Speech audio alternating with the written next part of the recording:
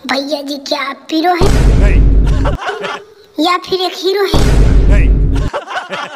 आज हम ऐसा टिप एंड ट्रिक बताएँगे कि जिसमें ग्लिच भी मिलेगा फ्लिच भी मिलेगा। यहाँ पर जल्दी जल्दी आइए। यहाँ पर आने के बाद जल्दी से फटाफट फटाफट फटाफट फटाफट जो मिले उठा लीजिए।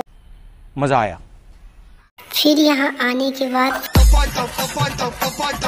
अरे कहना क्या चाहते हो? कहना यही चाहते हैं कि यहाँ पर जल्दी से फटाफट आइए।